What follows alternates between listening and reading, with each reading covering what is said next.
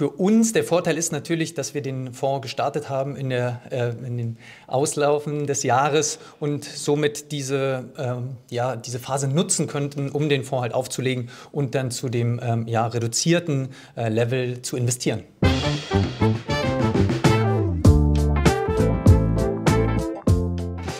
Herzlich willkommen beim großen Finale von der vierten Staffel von Future Fundstars, bei der ich ganz herzlich Marco Grassmann von Alpha Star Fonds begrüßen darf. Hallo, herzlich willkommen hier aus Mannheim. Ja, vielen Dank für die Einladung. Ich freue mich hier zu sein. Wir haben ein schwieriges vergangenes Jahr, vor allem für Nebenwerte gesehen. Ähm, du hast einen Nebenwertefonds. Insofern blicken wir mal zurück. Wie war das vergangene Jahr und wie bist du eben mit dieser schwierigen Situation bei Nebenwerten umgegangen? Ja, in der Tat, das letzte Jahr war wirklich ähm, sehr herausfordernd, insbesondere für die klein kapitalisierten Werte, in die wir investieren, also die Small Caps, die besonders ähm, gelitten haben, was auch typisch ist äh, für so eine Phase, dass die ähm, großen Werte sich besser äh, halten als die kleinen. Ähm, für uns der Vorteil ist natürlich, dass wir den Fonds gestartet haben in, der, äh, in den Auslaufen des Jahres und somit diese, ähm, ja, diese Phase nutzen könnten, um den Fonds halt aufzulegen und dann zu dem ähm, ja, reduzierten äh, Level zu investieren.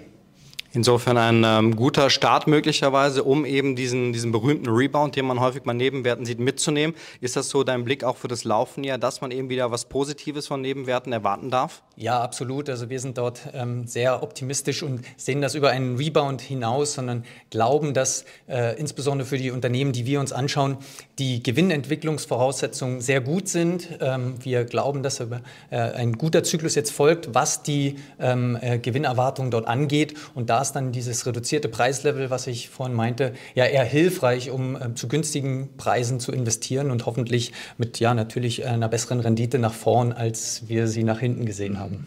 Jetzt investierst du in Europa, hast da vor allem einen Fokus auf ähm, ja, Top-Unternehmen aus dem ähm, Mittelstand eben auch, aus dem Nebenwertebereich. Wie covert man alleine den kompletten europäischen ähm, Nebenwertemarkt? Ist das ein bisschen schwierig, dass man das alleine macht oder wie bewerkstelligst du das? Ja, in der Tat. Also das Universum ist sehr groß. Wir haben äh, über 5000 Werte in, in Europa. Im Vergleich, Deutschland hat ein bisschen mehr als 1000 Aktien, also ein sehr großes Universum.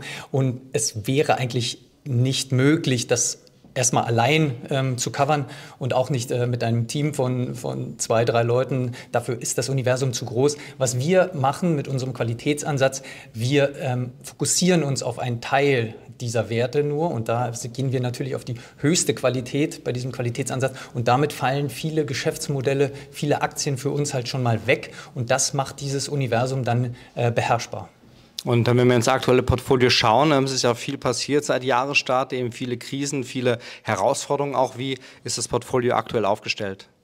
Ja, wir sind sehr ähm, äh, stark exponiert äh, bei digital, digitalen Geschäftsmodellen, Softwareunternehmen, äh, Medizintechnikunternehmen, also Firmen, die einen strukturell äh, wachsenden Markt bedienen. Ähm, dadurch haben wir auch nicht äh, oder weniger dieses Konjunkturproblem, weil einfach die strukturellen Trends, die unseren Unternehmen unterliegen, sehr ähm, ja, stark sind und das überlagern, was ähm, die äh, ja, Konjunktur im Moment an, an äh, Gegenwind bietet. Und da fühlen, fühlen wir uns recht wohl, ähm, dass eigentlich äh, die Konjunktur, der Konjunkturabschwung, wenn wir ihn dann sehen und je nachdem, in welcher Stärke wir ihn sehen, auf unsere Unternehmen einen geringeren Einfluss hat äh, als beispielsweise auf den Markt insgesamt.